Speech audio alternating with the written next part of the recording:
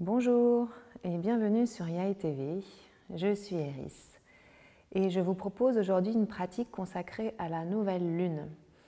On dit beaucoup que le cycle féminin est relié au cycle de la lune et lorsque l'on est en phase de nouvelle lune, on considère que c'est le début du cycle de la femme. Donc au niveau des énergies, on est plutôt dans une recherche d'intériorisation. On dit aussi en termes de saison que c'est euh, l'hiver silencieux donc c'est le moment de dormir, de se reposer, de se connecter euh, à ses rêves. Et au niveau de l'archétype énergétique, on dit que ça nous rappelle euh, l'archétype de la sorcière ou de l'ancienne. Donc c'est le moment aussi de se connecter aux, savoirs ancestraux, à ce qui remonte un petit peu dans les temps et les traditions, et euh, d'accepter le passé et accepter l'incertitude de l'avenir.